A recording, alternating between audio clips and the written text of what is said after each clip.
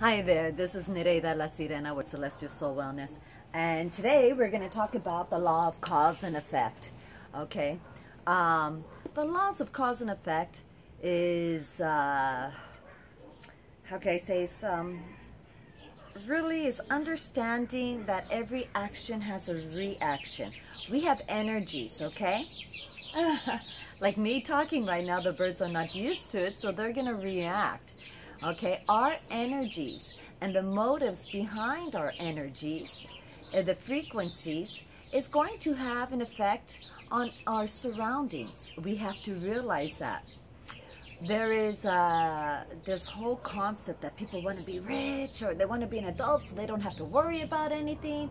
They want peace. And really what they're saying is they don't want to have to take responsibility for their inner child actions or their and their ego actions okay? And wantings and desires. And that is never to be the case all right so we have to always be aware that this life is not about us. Uh, i knew someone uh, who would often say but what about me? But what about me? Well that's your place to fulfill yours your needs okay um, without imposing your needs on others as much as possible, but to be thankful whenever someone does offer a service to you. Um, the cause and effect is also something uh, to uh, realize that the the the reaction to an action can also have consequences. And uh, it's uh, what we're saying, it's a domino effect. Consequences is not something necessarily negative. It just means another reaction and another reaction and another reaction. When we use it in a negative sense, it's as most people uh, with English vocabulary choose to use it in negative uh, a negative um, concept and then then say rewards as a positive but they both mean the same thing is receiving something for that action okay? And so it's continuous continuous the butterfly effect. A concept how butterfly wings cause a hurricane okay? And so also to understand as we reap what we sow what we do we make our bed we lie in it so if we didn't prepare um, the harvest, we didn't plant uh, in the summertime for the winter, then we're not going to have food for the winter. And uh, just earlier this morning, example, I was, uh, I mean, we're in the middle of February, no, end of, no, actually it's a full moon today, March 1st.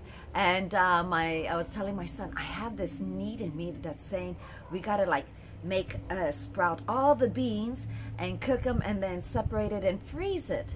I go, I don't know what's in me that has this this energy that's going on. He's going, it's the squirrel mentality. It's the squirrel energy, mommy. Relax, you know. Um, we don't need to. Remember, fresh is better. I'm like, yes, you're right. Fresh is better. And uh, and a lot of times um, I like to bring up a lot of my silliness, my inner child silliness and, and ideas that come about because a lot of times people think, oh, you're a shaman, you're a guru, you're a teacher, you're a yoga master, Reiki master, and all that. Um, you're ordained minister. They put certain expectations of holier than thou, and that uh, people uh, on a certain caliber level. Um, uh, are, are going to be this divine, uh, constant oneness. And if that were true, we wouldn't be here anymore. Okay, so remember, anybody who is here, accept the humanness, embrace the humanness, because in a way, it allows other people to be human too. Okay, so remember that for every every action, there is an equal reaction to it, okay? And so the frequency that we are um, offering our action, mm, FYI, carrot apple, love it. My son made it for me this morning. When he does that, to me, that is giving me a box of chocolate. To me, he's saying, I love you so much. I want to keep you healthy. I want to see you healthy. I want to spend more time with you. When someone gives you a box of chocolate, a bottle of wine, they're saying, I really hope you die soon. Maybe they took out insurance on you. Okay. Anyway, I know that sounds harsh. We could talk about that another time. But if you go all the way down, remember people are driven by two things fear and love all the time. Okay. Uh, so always understanding that um, I'm looking down on my notes. Uh, I have my, you know, what some people call their their spell books, their medicine notes, their their personal notes of all this stuff. You know, um, uh, I have all my information that I thought was uh, pertinent to me and in my uh, growth. A lot of times too, with the cause and effect is um, we have to realize that we are here to grow. Okay, and so sometimes uh, our ego is going to want to do something.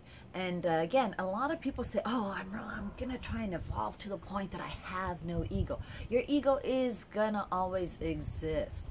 Okay?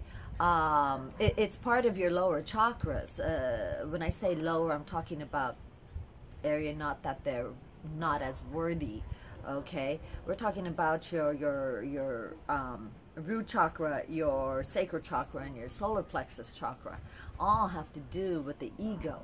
Okay? So, and really uh, alleviating that. And um, is something is understanding is you cannot do away with that ego. So some of your actions, you'd be like, why did I do that? And then there's going to be a reaction going, oh, I'm so sorry. I didn't expect that. And then your ego's like, well, don't admit to it. You know, maybe the people won't realize it.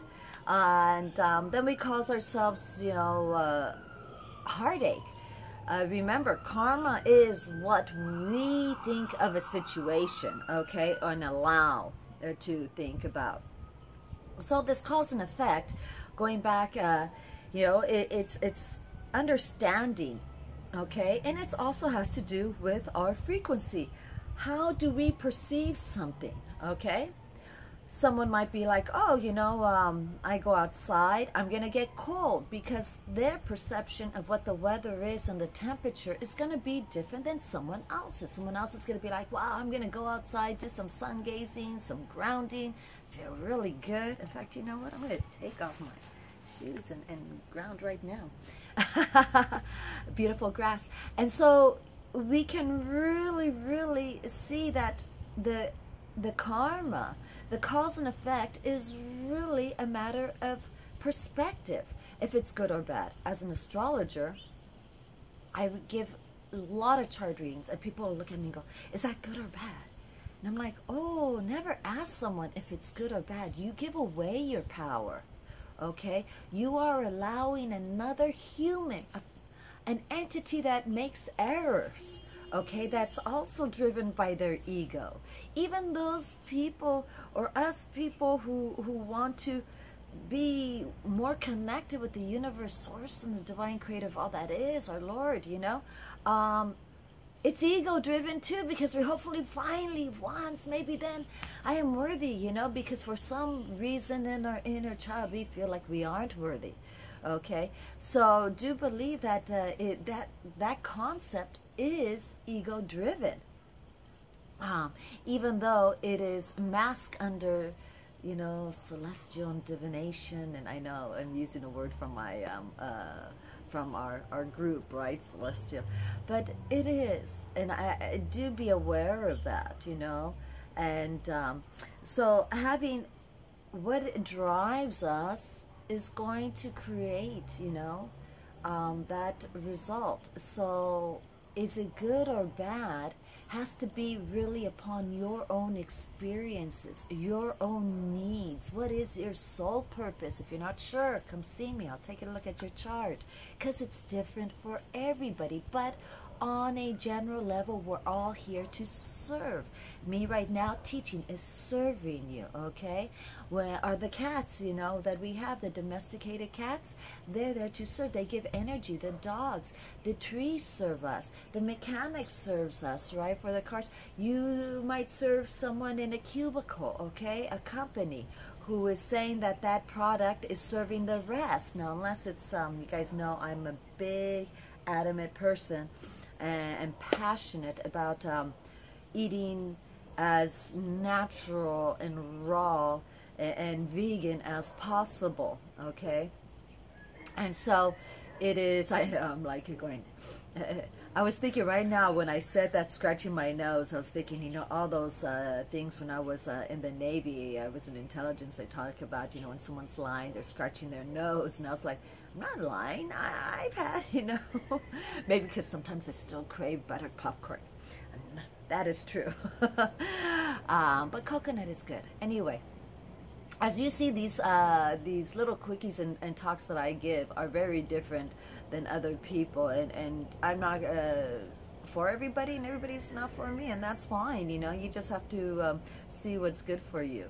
Okay, so anyway, I hope you liked this video. If you liked any part of this video, please share it, thumbs up, share with your loved ones, your friends and anyone you think could benefit from this, um, I uh, please look at uh, visit our. We welcome you to visit our website at celestialsoulwellness.com, all one word, or nereidalasirena.com. Se habla español, je parle en français, ich spreche Deutsch, ja. And um, we're uh, wedding officiants. We love, we love marrying people.